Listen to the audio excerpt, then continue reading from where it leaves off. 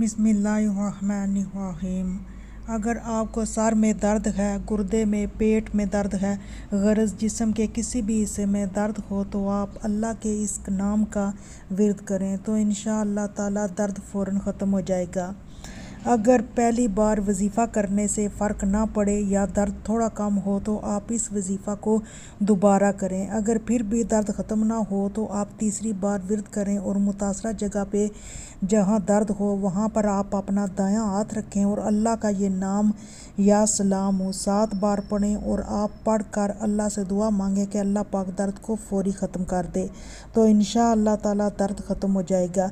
यह वजीफ़ा आप गरज किसी भी किस्म के दर्द के लिए कर सकते हैं।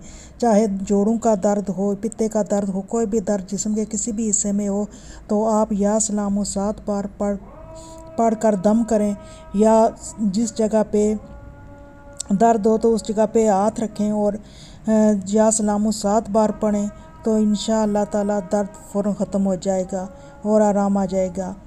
इस वजीफ़े को ख़ुद भी करें और दूसरों को भी शेयर करें। अल्लाह हाफिज़।